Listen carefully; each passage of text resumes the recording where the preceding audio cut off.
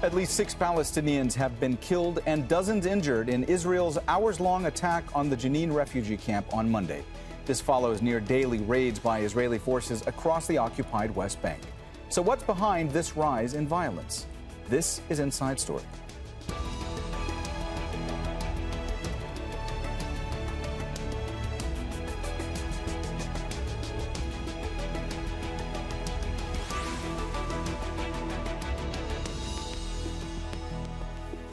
Hello and welcome to the program. I'm Mohammed Jamjoom. There's been an escalation by the Israeli army in the occupied West Bank, which has not been seen in decades. Israel's far right government has increased its raids against Palestinians, launching military operations that often result in deaths and injuries. On Monday, the air was filled with the sounds of whirring blades from combat helicopters, live ammunition, and stun grenades. Israeli forces had launched an attack against the Jenin refugee camp that would last for hours. The city of Jenin has become symbolic of the Palestinian resistance, and in recent years, several armed groups have emerged. Israel says it's going after these groups that pose a threat to its security. But Palestinians say they're the ones paying a high price. We'll get to our guests in a moment, but first, this report from Nida Ibrahim. There's a sense of pride amongst Palestinians. They say the fact that fighters in the Jenin refugee camp who have limited weapons, limited training, if any, managed to incur damages to the Israeli forces, injure Israeli soldiers. Palestinians here say that they're disillusioned by the international community and by the possibility of having a peaceful resolution to their case. We've been speaking to fighters in the Jenin refugee camp over the past year or so, and they were telling us that they don't believe that the Palestinian Authority is doing anything to protect them, and they say that the real violence that's happening in the occupied West Bank is the decades long Israeli military occupation. It's manifested in so many different things in the ongoing killings, the almost nightly and daily raids, but also in the illegal Israeli settlements that are expanding and expanding. They're all illegal under international law. We have United Nations Security Council resolutions condemning those settlements, saying that they need to be dismantled. But still, they're still expanding, taking up land. And not only that, the resources of Palestinians, they have their own infrastructures. So for Palestinians, they say they have to fight the ongoing Israeli occupation. Now, when it comes to how this year is looking, we're talking about 134 Palestinians who were killed by Israeli forces this year alone in the occupied West Bank, and we're still in June. 2022 was considered the deadliest year in the occupied West Bank with 170 Palestinians killed by Israeli forces. So that could give you an idea. We're still in June, and who knows how the year might end. For Inside Story, Nida Ibrahim, Al Jazeera. Let's take a look at some of the Palestinian armed groups operating in the occupied West Bank. During Monday's assault in Jenin, fighters from the Islamic Jihad faction and Fatah al-Aqsa brigades fought back. The factions have been operating under an umbrella group called the Jenin Brigades, which emerged in 2021. In the old city of Nablus, the Lions Den group has been involved in armed confrontations with Israeli forces since August 2022. And now, there are many more resistance groups, including Tul Tulkarm Brigades and Aqabat Jabr in Jericho. All right, let's go ahead and bring in our guests. In Tel Aviv, Yossi Beilin, a former Israeli Minister of Justice and Deputy Minister of Foreign Affairs. Yossi was the former Israeli negotiator during the 1993 Oslo Peace Accords. In Ramallah, Nour Odeh. She's a political analyst and columnist. Noor is the former spokesperson for the Palestinian Authority. And in London, we have Bill Law, editor of Arab Digest and a former BBC Gulf and Middle East journalist. A warm welcome to you all, and thanks so much for joining us today on Inside Story. Nour, let me start with you today. Uh, what happened on Monday in Jenin, this marked a sharp escalation in fighting. What's behind this rise in violence? Well, I think what's behind it is the overall context. You have a right wing uh, government in Israel that is intent on um, uh, uh, stealing as much Palestinian land as possible. That's the government program. It's not a secret. It has employed all tools of oppression and violence against the Palestinians. And as your reporter uh, uh on the ground that pointed out, the number of Palestinians killed this year so far, uh, you know, um, looks very grim if you compare it to last year. It, it does look like this year is going to be even deadlier. So all of those things combined, the measures that the Israeli government has taken to expedite uh, colonial expansion, to deny Palestinians more and more rights, and the, the fact that Palestinians don't see anything moving, if you will, on the road to their freedom uh, makes uh, for a very fertile ground for opposition and resistance and increased resistance to the occupation. Yossi, uh, these were the fiercest clashes in years. Uh, the fact that this fight lasted 10 hours and that the Israeli army faced such tough resistance from Palestinian fighters, what does that signify to you? Nothing is new. We have uh, had this, uh, these conversations for years and years. I think that the world is not there for us, is not interested anymore in our conflict. Uh, there are other conflicts in the world, and, and maybe they are more important. And uh, if we, uh, those uh, among us on both sides, who believe in peace and who believe that these clashes are idiotic, totally idiotic. Just young people are dead and wounded for what? What, are, what is the, the target? We have to see together at least the, the, the informally, if the government of today in Israel is not interested in peace, I think that what what we have to do, those who believe in peace on both sides, is to sit together and to think about ideas and to go to the world and say, help us in, in, in implementing them, in, in putting them on the agenda. Don't forget us. We are paying the price. Uh, Bill, uh, Israeli forces have been raiding Jenin and Nablus for more than a year now. Why are there so many raids happening by the Israeli army into the occupied West Bank at this particular time? Well, I think that the violence is escalating uh, to an extremely dangerous level. I think the reasons are quite clear uh, for the escalation, particularly uh, since the cobbling together of the most extremist government in Israel's history that brought in uh, people who, uh, well, Mr. Smotrich has described himself as a fascist and a homophobe. Uh, Itamar Ben Gvir a man who clearly hates Palestinians. Uh, these people have an agenda which is based on the violent removal of the Palestinian people. And Mr. Netanyahu, in accepting them into his coalition, has accepted that agenda. And I think this is why we're seeing this severe escalation and some extraordinarily, I think, dangerous developments that, unless, as Yossi Beilin says, uh, the world asks people to think again, then we are really moving into some very, very serious uh, and frightening uh, territory. Nour, the fact that these raids keep happening regularly in Jenin and in Nablus, how, how damaging is that to the Palestinian Authority? How much does that impact their credibility amongst Palestinians? Well, I'm, I'm not sure how much credibility the PA has left uh, uh, to spare, uh, to be honest with you.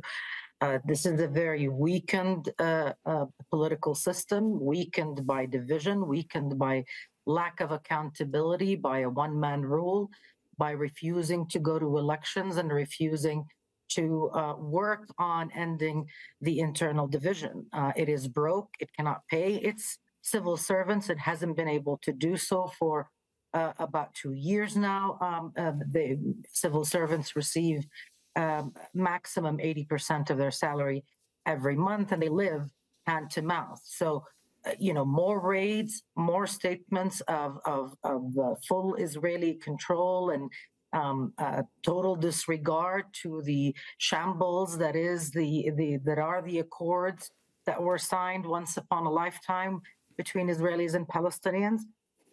You know, it, it, goes without saying, I think, that Palestinians uh, see what is happening, understand that the PA is unable to protect them and help them, and are further frustrated by the fact that the PA is uh, appeasing uh, regional and international pressure to engage in silly, meaningless talks uh, like those uh, that happened in, in Aqaba and in, in uh, Sharm el-Sheikh to talk about you know, pretty much nothing to receive empty promises that are not um, eh, eh, respected by Israel, and to again have an international community that is all but dormant.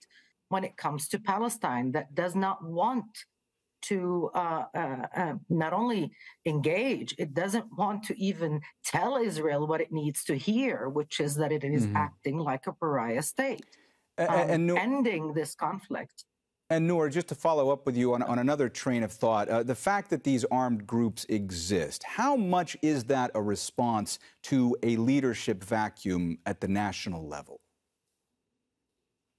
Look, Palestinians have been resisting for decades. This is not something that results from a, a lack of anything. The fact that the, the political system and that political factions overall are failing their people only increases the need, the popular need to feel that there is something, uh, somebody out there, a group of young men that can, uh, at the very least, do their best to uh, uh, uh, protect their neighborhoods and towns. And, and we know that the balance of power is completely skewed towards uh, Israel. everybody understands that, uh, even in Jenin and Nablus. But it is, um, you know, the journey of a people who have been oppressed and occupied by a foreign power for 75 years. Uh, they want to break free of that bond, uh, whether the political factions want it or can deliver it or not. So they that resistance, if you will, will continue with or without the political factions. Having a political horizon, having movement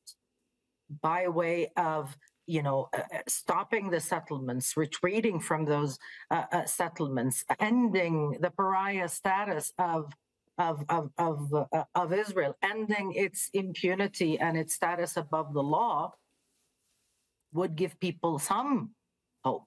But in the absence of that, and mm-hmm. in the presence of double talk from the international community, mm-hmm. who are uh, going beyond every measure and means to protect the Ukrainian people's right to uh, defend themselves against occupation and to resist the occupation mm-hmm. with all military means available, it's very difficult to convince Palestinians that uh, taking up arms or, or, or, rising in protest or even civil disobedience is something that they shouldn't be engaging in.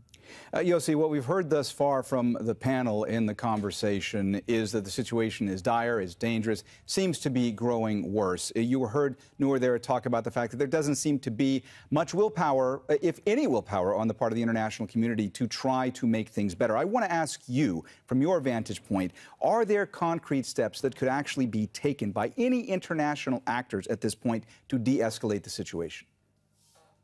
Yeah, I'm sure that there are steps like this.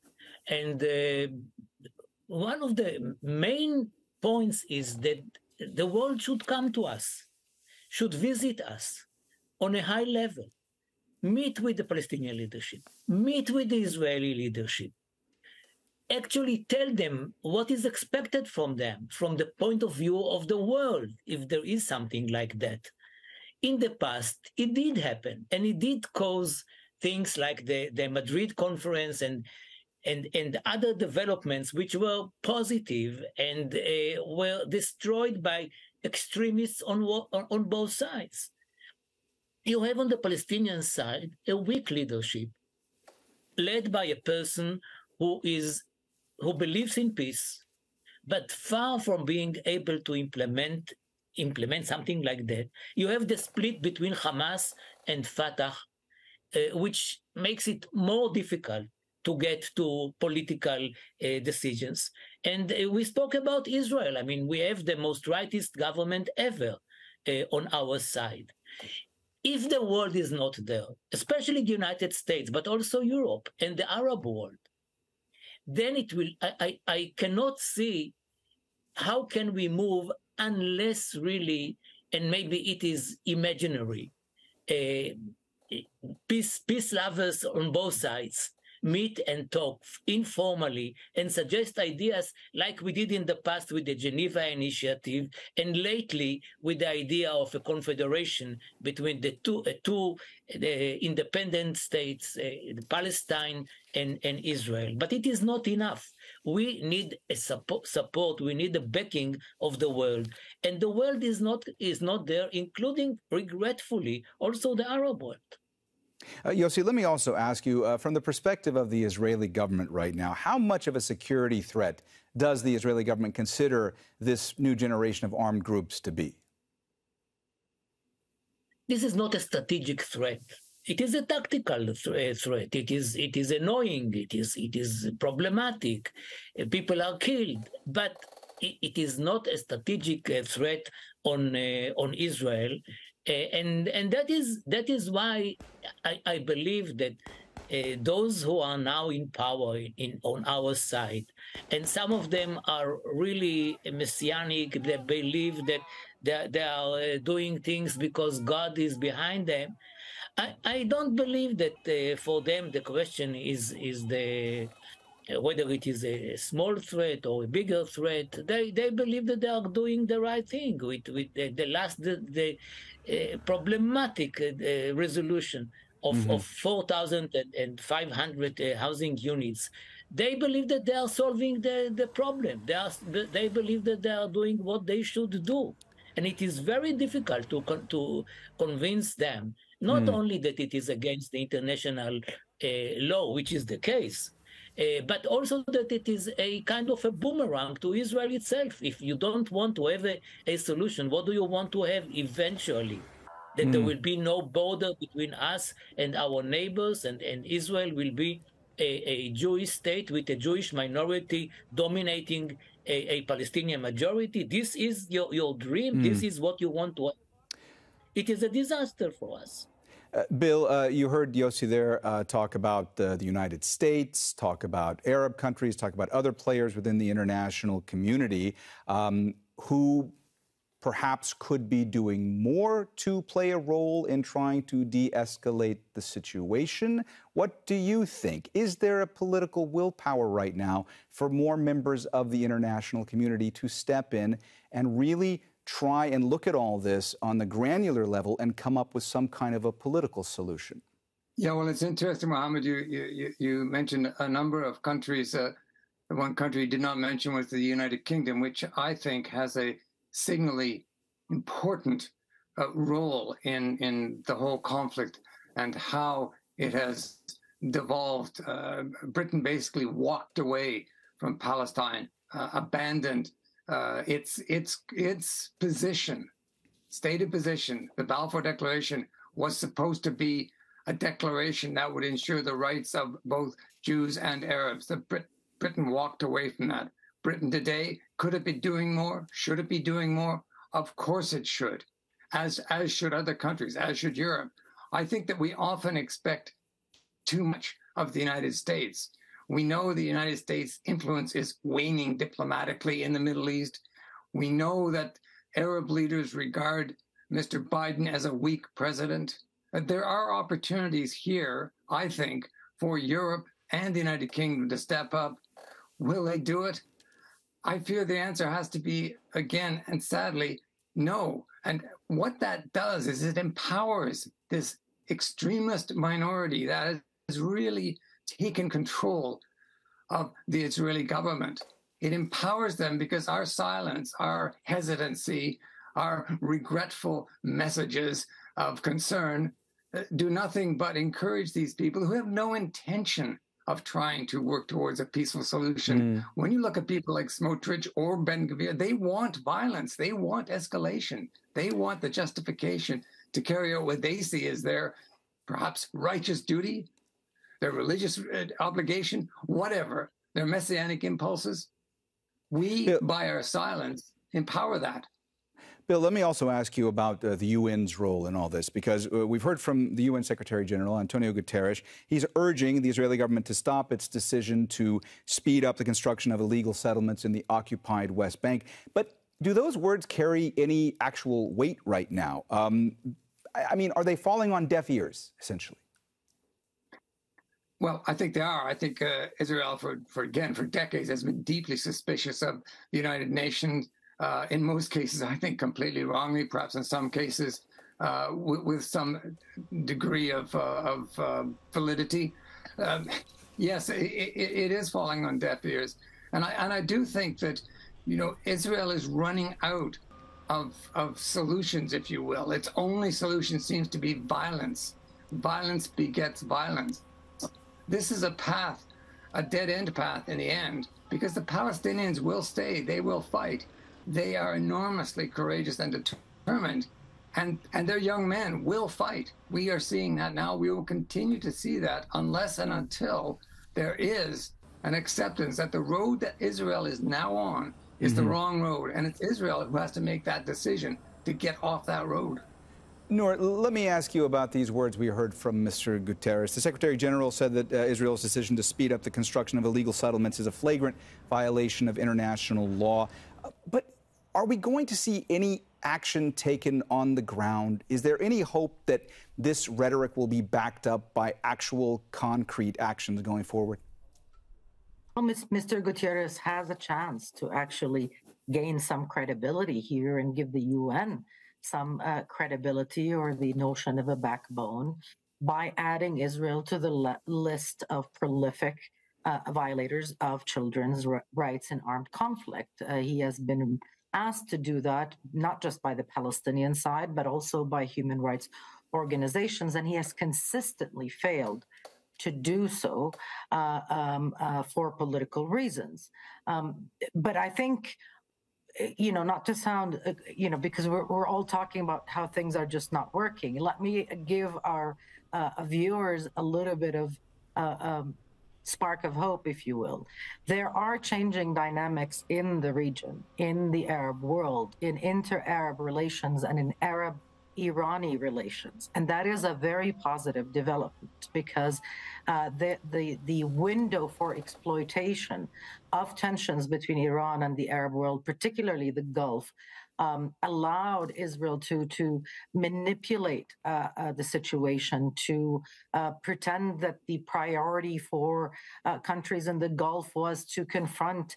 Uh, Iran and to forget about the Palestinians and to further, uh, you know, entrench that sense of isolation among Palestinians. Things are uh, moving in a in a far uh, more positive direction at this point, and I think that is an opportunity the Palestinians must seize.